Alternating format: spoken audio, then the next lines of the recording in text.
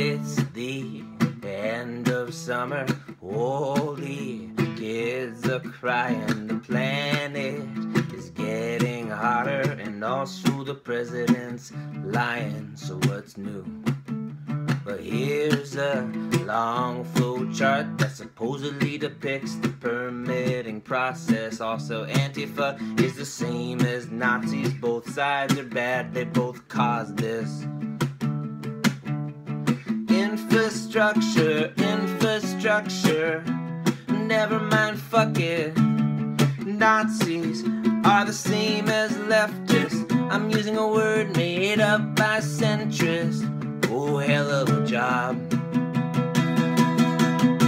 You made up the phrase to describe people that you mostly just because they voted for an old Jew who was defeated. And now the and now and now now now the mad mad king is using your phrase in case you missed it. You've aligned yourself with him. Good job on your resistance.